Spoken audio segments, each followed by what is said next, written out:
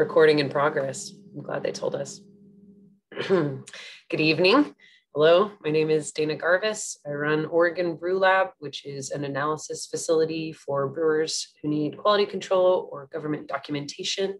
Uh, I also am at heart a teacher. And so once a month, um, I try to put together a, uh, an interesting presentation about something that fascinates me or something that I do daily that I think is really cool um, and that people could use a greater understanding. So I like to use um, my my teaching skills to try and get beer uh, science education out into the world.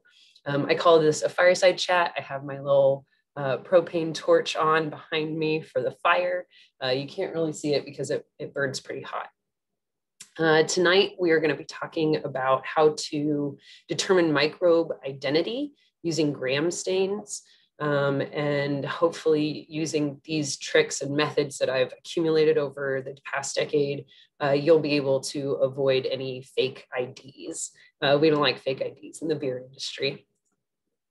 So we're going to talk a little bit about what inspires me about gram staining. Um, we'll go into the history for a second. Uh, and then we're going to spend a bulk of the time talking about the process of identifying microbes. And then we'll hit my favorite part, which is probably um, the best part, which is looking at really cool microbe photos um, that I've collected over the years. And then lastly, if you have any questions about um, what I'm up to, we'll save that for the end.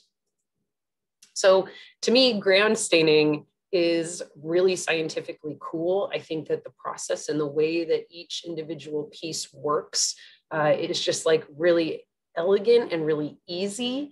I think that it's something that anyone with just the most minute of science backgrounds is able to run and do this um, identity test. Uh, it's fun and pretty, kind of like tie dye. It has really, really nice colors um, that make little microbes pop and, and seem really awesome in contrast. Uh, and then, oh, right, it also helps us identify beer spoilers, which is incredibly useful um, for process control within the brewery. So this is Hans Christian Gram, uh, not to be confused with Hans Gruber. Uh, he went to the University of Copenhagen for a degree in bacteriology. After he graduated, uh, he moved to Berlin and started working in a morgue. And there he developed a technique for gram staining, uh, which is, is uh, named after him. Uh, and so, looking at sort of a historical perspective, um, Austrian R, this guy down here, um, in 1960 did sort of a little history of the gram stain and, and revealed that he, that Gram originally didn't create this method for the purpose of identifying types of bacteria. All he wanted to do was be able to see the bacteria under the microscope much easier. And so that makes sense because this is what bacteria or Saccharomyces looks like under a microscope. You can tell those individual cells, but it would be significantly easier if there was a color there to show that bright contrast. And so using crystal violet, we can actually do that and make this, this pop a whole lot more. Now we use modern technology, modern microscopes, but in you know 1884, uh, this color difference would have been a world of difference. Whereas I think with modern day computing and um, mic microscopy, uh, we're able to get really good photos. He also was ever dedicated scientist who is full of doubt and concerned about error. And so he himself said that he thinks that this method could use some improvements that that it's something other scientists will take and improve upon his methods. And it turns out ever the scientist that he was right. Uh, originally, he used Bismarck Brown as a counter stain, um, which is actually really, really good at staining cells, so much so that it stains your skin relatively permanently for a few weeks if it gets on you. And so we don't really use that anymore. In fact, I couldn't even find it to purchase it to test it out for this presentation. Um, what we use now is safranin, which is a red stain. And so one of the reasons we didn't like Bismarck Brown was because the way that the stain stuck to the slide. So these individual little brown flecks, that, those are the actual microbes using Bismarck brown. And I had to steal this from the internet because I couldn't do it myself. But you can see that all this noise here from this counter stain on the slide makes it even more difficult to tell these apart. Well, so that's why we use safranin. Look at this super, super clean grab where the, the slide itself has been stained slightly pink, but overall you can tell these individual bacilli um, that come from this group of bacteria called Zymomonas. All right, as I was saying before we started recording, uh, bacteria ID um, is sort of all encompassing. And gram staining was something that I initially wanted to focus on, but realized that there was sort of this um, greater puzzle that I was missing. And so, in order to get the full puzzle, you don't want to just look at the pretty colors, you need to construct the frame, you need to um, identify different pieces and put them all together. And so that's what we're going to do. We're going to talk through the different puzzle pieces it takes to identify microbes uh, including how to gram stain, um, so that at the end of this talk, hopefully you feel comfortable uh, doing this in your own lab. So the first piece of this puzzle is your growth environment and the speed at which it grows. And that's relatively easy. Uh, aerobic means grown in the presence of oxygen, aero meaning oxygen, bic from bios or life, so needing oxygen for life. And then we have anaerobic, which is anti or anti without. So without oxygen for life, this is bacteria that can grow without oxygen. And those two things really um, separate out a lot of different bacteria that can grow in beer because um, beer itself doesn't actually have any oxygen in it available for bacteria. So if something is able to grow in an anaerobic environment, it's also able to grow in beer. Um, and then we look at speed, which is a really easy thing to jot down in your observations. And that's just the number of days it's taken from the moment you inoculate the plate to when you first see growth. And so it's important to check every day when you're plating. Now, if your, your plating setup allows for you to use a media that does differential staining, I highly recommend it. This is WLD media, it's blue and it turns yellow with the presence of an acid. So if a bacteria produces an acid, that change will be reflected uh, in the color. So we've got this first example of this plate that had this, uh, we'll say, cannon uh, shaped bacteria that has no yellow halo around it. So this is not an acid producing beer or acid producing bacteria, excuse me. Uh, whereas this bacteria is acid producing because we have this yellow halo around these colonies. So if you can identify that uh, bacteria has produced acid or not, that helps you start to put that puzzle together. The next thing that we're going to look at and make observations for is what does that colony on that growth plate, what does that actually look like? Are they tiny little dots like that second photo I showed you, or are they round, circular, more like that first photo? Um, if it's filamentous, it's probably more of a mold type item. And if it's in a regular form, you probably have multiple bacteria in there that are fighting for different shapes. We generally don't see rhizoids um, in beer and spindles you will see if you do pour plates as opposed to streak plates. Um, but uh, generally these are the two that we're gonna we're gonna see in the brewing industry. Um, and then go ahead and just like tilt that plate a little bit, look at it head on and uh, determine just how much of a raise in elevation those morphologies have. And that's something you just want to jot down as part of notes as you're going. All right, let's get to the gram staining, the, the meat of it really. Um, we're going to talk about all these different steps as we go. The first one is we're going to affix bacteria from, from a colony to a glass slide. Don't need sound. All right, so um, let's pull that up. Come on. So the first thing we're gonna do is we're gonna, oh, wait for the video to load. maybe I made it mad. I did. Apologies. Okay, we're staying in small form. that works fine. So the first thing we're gonna do, um, I did it off camera, was we're gonna take, we're gonna take this uh, glass slide. Oh, why is it fighting me so hard?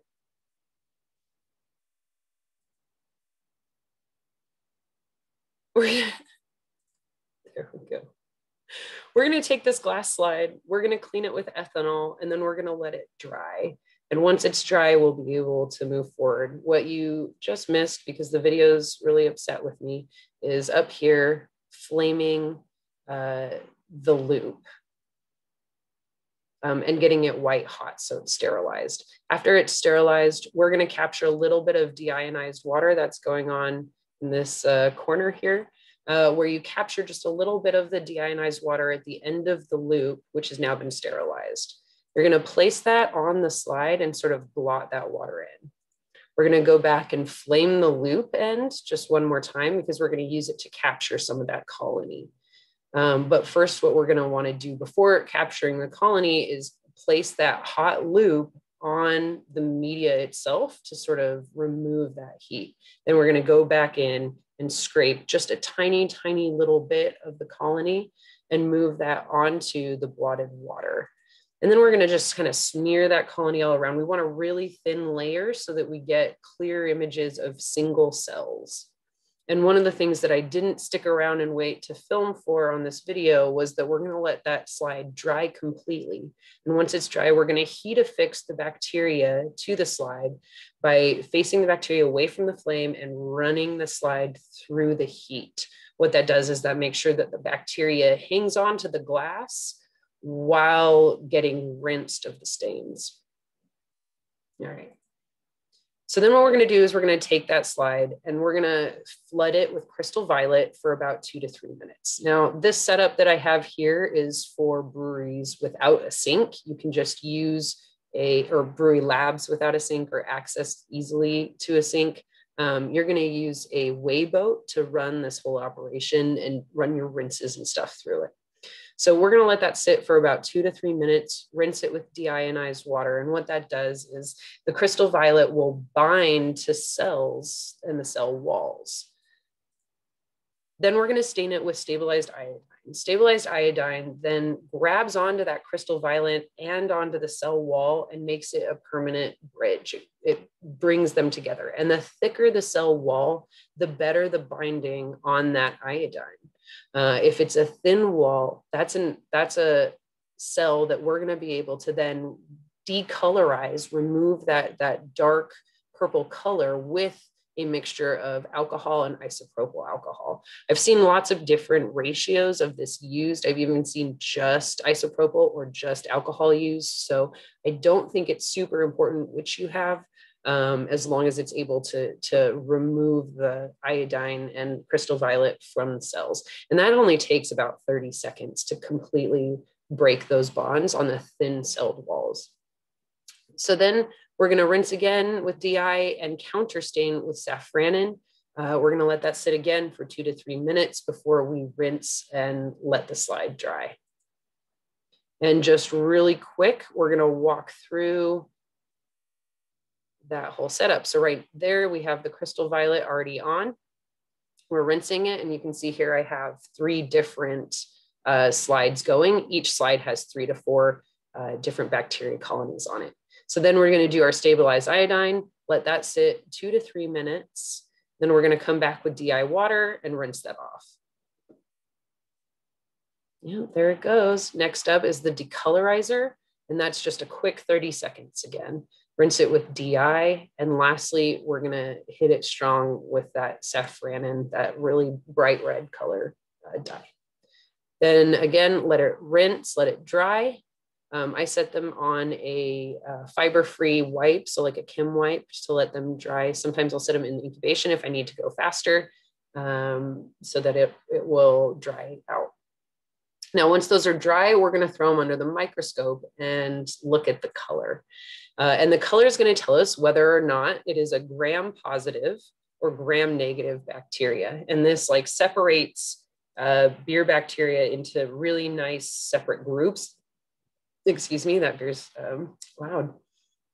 Uh, and we're gonna um, determine its uh, gram stain result.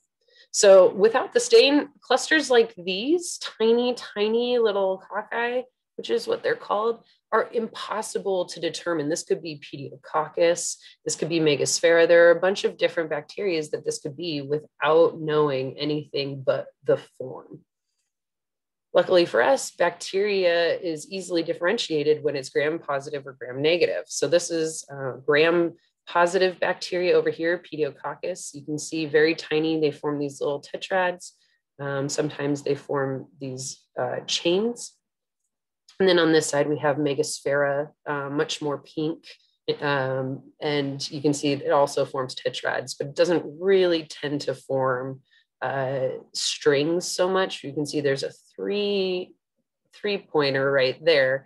Um, but generally we see Megasphaera in individuals or uh, occasionally tetrads. Which brings me to slide here, uh, puzzle piece number four, cell morphology. And that's just what shape is the cell that you see under the microscope? Is it round? That's cocci. If is it, is it uh, oblong and thin? That's bacillus. Now we also have in beer different curved rods. There's some lactobacillus and um, different molds that can either be curved or be stringy like this. Uh, pleomorphic bacteria can exist in the beer industry, but it is very uncommon. Um, so here it is just as an acknowledgement, but um, thank you, we don't, these things can't really live in beer very well. Then we're going to look at the cell arrangement for puzzle piece number five. And what that is, is that's those tetrads that I was talking about with the Pediococcus and the Megasphaera um, or the chains that you can sometimes see formed. And this is just different uh, terminology for the way that they cluster, right? So um, staphylococci is when we have little uh, random clusters. Staphylococci is when we have these uh, strings. And we also have the Staphylococcus, uh, which is chains of lactobacillus. And so we're just gonna make note of all of these things to help us figure out this bigger picture of what is this bacteria. So one last uh, video test that I'm gonna walk you through is the catalase test. So this one's really awesome, really easy. Uh, when I needed to run this for a brewery that I worked for, I literally had to run to the 7 Eleven down the street to purchase hydrogen peroxide, um, which luckily they have. You can run this directly on the plate or you can run it on a slide like I'm doing. I, I like to keep my plates pristine until results have been sent. Um, and so I'll just grab colonies instead of, of doing it on there. But what we're gonna do is we're gonna just squirt just a few drops of store-bought hydrogen peroxide right there on the colony. And then um, past me, we'll zoom in eventually. Uh, but there we go what we're going to see for catalase positive bacteria is a really rapid production of bubbles. We're going to see oxygen gas forming before our eyes. And that's because of the way that the cell walls are breaking down and what it releases, which is oxygen gas and a little bit of water. And you can see that we've really puffed up here. I think it'll resolve in just a second. Come on, me. Well, good enough. Look at those bubbles um, it's really, really foaming. And so we know that that's catalase positive. And there are some bacteria where the only way to tell, because all the other metrics are the same, is this catalase test. So this is the final puzzle piece I use to determine bacteria identities. All right. So we talked about the growth environment. Is it anaerobic or anaerobic? Uh, how quickly did it grow? Um, and does it, when it's growing, produce an acid? We like to look at what shape it grows into, and then we look at whether or not it's gram positive or gram negative. While we're under the microscope looking at our gram results, uh, we also want to make note of the morphology, the shape of those cells, and how they interact with each other, how they self arrange. And lastly, we're going to see how they interact with hydrogen peroxide. So what you do with all that information is you go to a flow chart of brewing bacteria. Now, this is one that I made that I use that sort of guides my um, decision tree when I'm when I'm trying to figure out what is what. Um, I do have this available on my website under the media tab, also under the um, blog tab if you want to follow this, but we'll just take a second to look at it. So this is where we start. And the way that I have this designed is we have aerobic bacteria on the left and anaerobic bacteria on the right. Uh, then we determine whether or not there was acid produced during growth, and that's these blue ones up here, acid producing versus non-acid producing down here. Uh, what's great about this flow chart is if you don't know if your bacteria is acid producing or not, you still can follow this flow to gram negative or gram positive and stay within your lanes here. Um, once you have determined whether it's gram negative or gram positive on both ends, uh, you determine whether it's a cocci or a rod or bacillus. Um, and then uh, in some cases, such as this one over here, a catalase test will tell you whether or not it's one bacteria or another. In this case, um, whether or not it's lactobacillus or Brettanomyces. Uh, so this is something you can download a PDF of on my site. Um, go ahead and check it out. All right, so PICS or GTFO, um, I, I feel you. All right, this is a progression of gram-stained yeast. This is just a Saccharomyces uh, cerevisiae, not super exciting, just really round cells. This is, you know, with no stain. This is that crystal violet where it's kind of bright neon purple. Uh, with the iodine, we then have uh, it turned kind of almost purple black, kind of loses that um, UV sort of element. And then with safranin on a gram positive bacteria like yeast, uh, it's not going to change the cells themselves, but it is going to kind of stain the slide a little bit to this kind of um, pinkish color.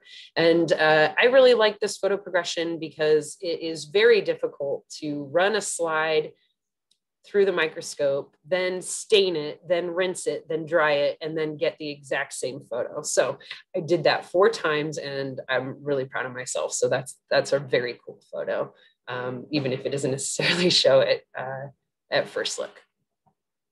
Um, going deeper, we can actually look at the difference between an ale yeast and a lager yeast. Ale yeast, Saccharomyces cerevisiae, uh, right here is very round and circular and sphere-like, whereas lager yeast tends to be more um, ovid or egg-shaped, sometimes lemon-shaped. Um, I remember the very first time my IPA heavy brewery was doing a Pilsner, and I was brand new to the industry, and I was doing a cell count. And the moment I saw the lager yeast under there, I called my boss and I was like, we can't pitch this. Something's wrong with this yeast. Uh, and he said, oh, I forgot to tell you, we're, we're doing a Pilsner. So um, if, if you're ever worried, uh, just remember that story.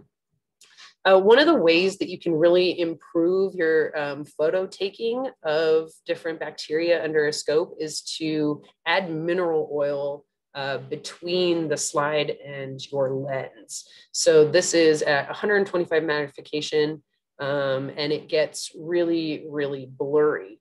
That's because between the glass where the bacteria is sitting and the lens of the microscope, you've got air in between those two layers. So if we remove that air layer by adding something that's similar to glass, like mineral oil, uh, you actually reduce that refractive index and you get a much, much clearer picture. Um, and you also can pick up some color.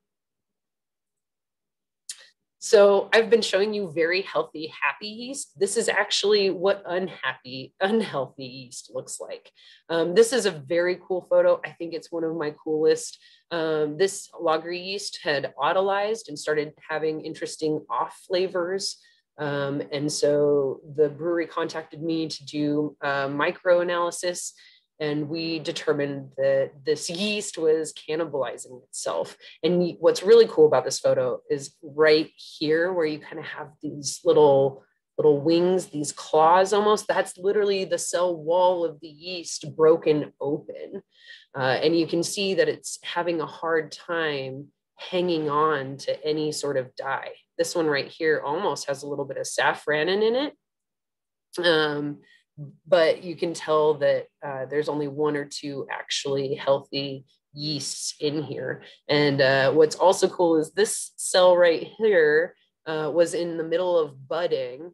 That's what this extra little growth is. And so this growth is doing okay, but the original cell is, is dying. It's pretty cool. Uh, as a size comparison to show you uh, how we can tell different stuff apart when they're the same um, cell uh, morphology is this is a uh, Cerevisiae, let's see, no, no, no, I'm sorry. This is a Saccharomyces pastorianus, uh, which is a lager yeast next to Megasphaera. And you can see the huge difference, even though they both technically are cocci because they're round, um, the size difference is how we can tell that difference. Um, this is a, a, picture of a beer from way long ago, and I'm glad because I, I don't want to embarrass anyone, but this was a hot, hot mess.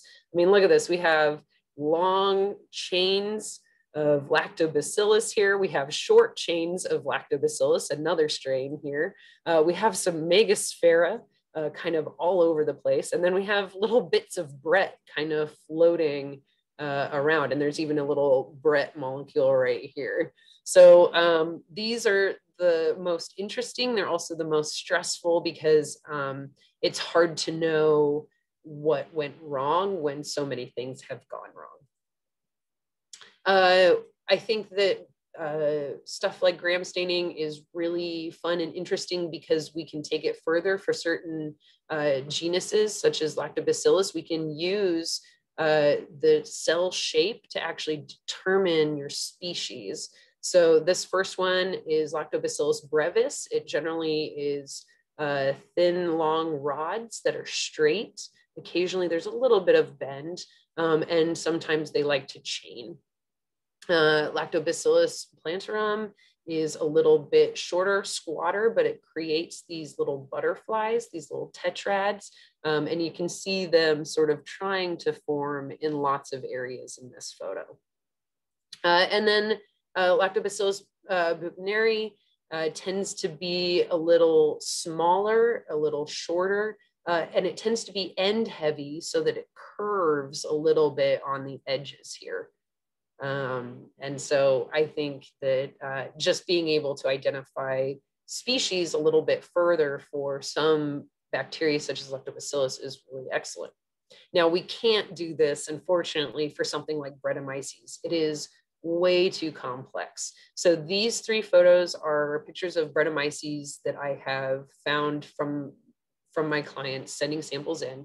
And we can see that these are uh, small, like uh, like like Brettanomyces, uh, they're smaller than um, smaller than Saccharomyces, definitely bigger than Pediococcus or Megasphaera. So there's um, really nothing else for this to be but Brettanomyces. Uh, same with this one. This one has these like kind of rod-like shapes, uh, but it's definitely not lactobacillus. It didn't produce acid, uh, and it was able to grow uh, in an oxygen-rich environment, which lactobacillus cannot. So this, uh, this is a really interesting Brettanomyces. And then lastly, we have this kind of in-between round and in-between uh, rod-like shape that's much more elliptical and um, similar to yeast, but not quite because look at this sort of like teardrop shape. So these are uh, found in the wild, we'll say. This next slide is uh, commercial pitches of Brettanomyces. So this is from purchased from the homebrew shop brought into the lab, plated. Um, this first one is uh.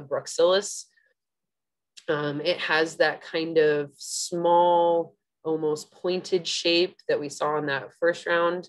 Uh, this is Lambicus. Uh, I have never seen a, a Brett strain come in my lab that looks like this. Uh, if I saw it, I would think initially that it's a lactobacillus. Um, so I find that rather fascinating. Um, and then this last one is a Brett. Um, that's a mix of three different Brettanomyces. And I've spent quite some time sort of staring at this, being like, can I identify three different um, shapes in there?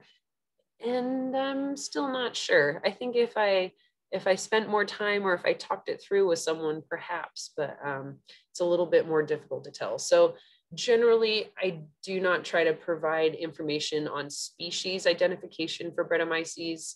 Um, generally, breweries mostly just care that something got infected with Brett as itself.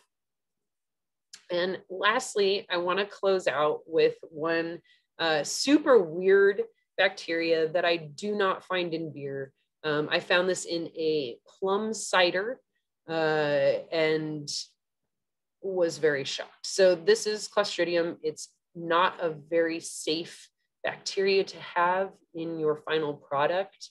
Uh, this uh, client ended up pasteurizing their samples, so we're all good. Uh, this all got killed. But what's fascinating about this is this bowling pin shape. Uh, we just don't see this in beer. This uh, particular bacteria really, really struggles to live in beer, um, which is why I only was able to find it in a cider. But um, I think some of these shapes are just fantastic. I mean, uh imagine my surprise when I when I first get my eyes on that under the microscope. Um, that was an uncomfortable phone call. All righty. Um, now I want to go ahead and open it up if there's any questions um, from the participants. We're gonna stop this Yeah. Let me take a sip real quick. Yeah, you and me both. Cheers. Cheers. Hey, thanks for all this. This was great. A lot of a lot of good information here. Um, and I appreciate you know kind of just all your your kind of notes going through it too. Just kind of your experiences. You know, those little nuggets are you know super helpful. Um, as someone who's kind of you know newly getting into this, um, trying to help out a local brewery, uh, and just you know kind of establishing some QA you know protocols throughout their process. Um, something like the basic stuff, um, they've got a lot of uh, a lot of lab stuff that's probably outdated as far as uh, you know, not to go down another path, but pH. You know, they've got obviously like four or five gallon, you know, you know, jugs of pH uh, solution that's you know 2017, 2018. Yeah. Being used to calibrate, but I was wondering, you know, as far as like even DI water and cleaning your DI water equipment, is there something particular you're using? Is that just the same ethanol that you're using to clean slides with? So, good question. I use a deionized water that's purchased. So, I buy it by the gallon um, just to make things easier. Um, is it sterilized? It should be technically. Um, but I don't think that there's anything that can live in your DI water that, unless it's actively molding, um, I don't think it would uh, like affect a grams a gram slide if you were to okay. rinse.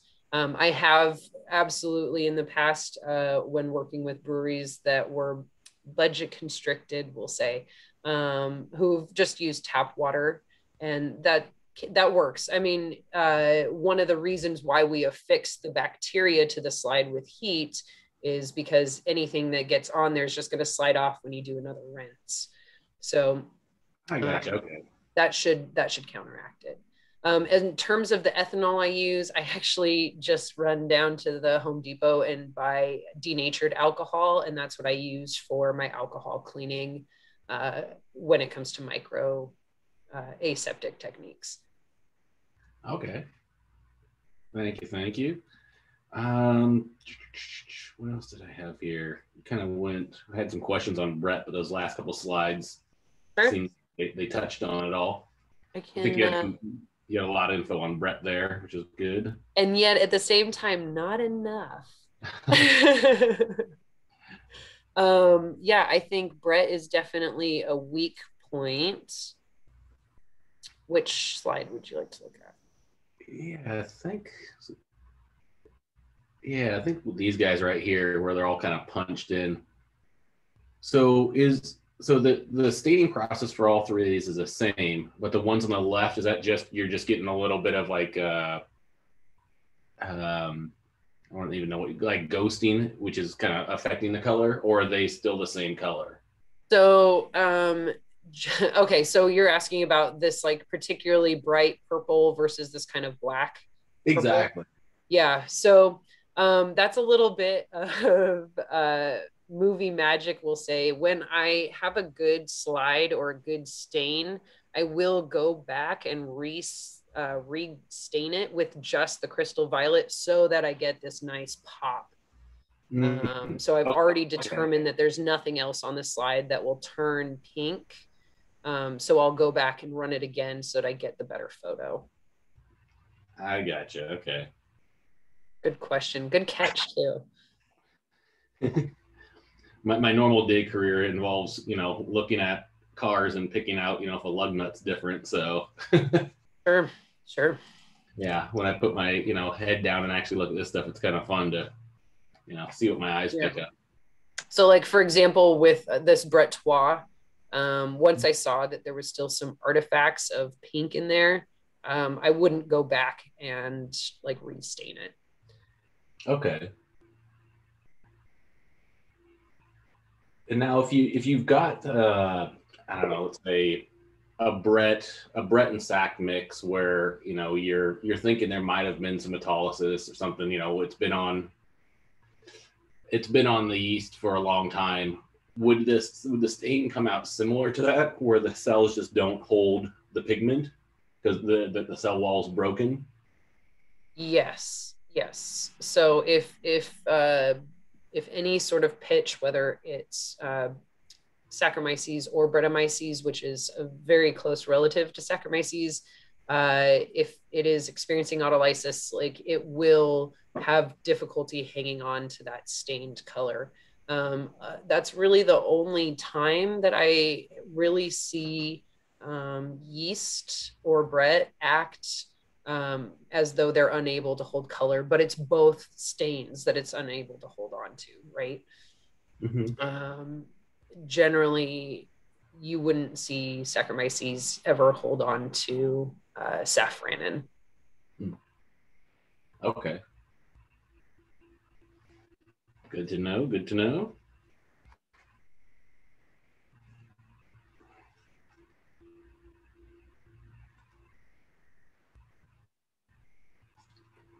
Any other questions? I'm looking through all my my chicken scratch here, seeing what I've got.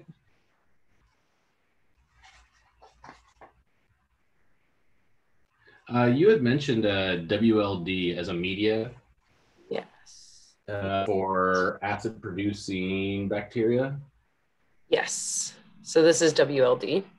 Yeah, is, is this something that you're creating in house, or are you buying these like a pre? Yes. So I purchased the dry powdered media, um, and then I rehydrate it. And I actually have a whole talk on how to prepare that media um, from January that you can find on my website. Um. Yeah, so WLD is one example and it's one that I use because it really helps uh, distinguish and identify um, Saccharomyces from Brettanomyces, but then also Pediococcus and Lactobacillus grow quite well in them. Um, okay. And and when they grow, they do produce this this halo. Interesting. Okay. Um, let's see. I think there's another. I can't remember what the other medium is, but there is another medium that um, will change from I think a pink to a yellow, or maybe it's the other way around, uh, in the presence of acid as well. So there's a there's a couple of options out there. Um, if you are a member of the uh, American Society for Brewing Chemists, they have a whole uh, process that you can find um, that discusses the pros and cons to different beer medias. Um, I also highly recommend uh, S2media.com. They are a small woman owned business out of Spokane, Washington that provide pre poured plates um, in a sleeve of 10 that you can throw in your fridge or your freezer, depending on the media. Um, and they're really affordable. They ship in two days. Uh, they're really awesome. So, um, if you don't have the ability to take to aseptically take powdered media to plated media, um, pre-purchase plates, S S2 media is the way to go. Awesome, thanks. Yeah, that's you know coming into a lab that's you know very bare bones. It's super helpful to you know not have to try to create something in house. Yeah. In Spokane, my parents lived there at some point. my parents currently live there. That's funny. Nice. Okay, so let's get to this very last one. All right, so um, thank you both for joining tonight. Um, my next fireside chat will be June 17th, barring uh, Oregon Brewers Awards or being very sick from my second vaccination, um, which is what happened with the last two talks. So uh, please join me for a discussion about beer color, um, which is totally a super real measurement. Um, I say that with uh, quite a bit of sarcasm because it is a real measurement, but um, we're going to kind of dive into how valid of a measurement is it. Awesome. Thanks again. Thanks, Dana.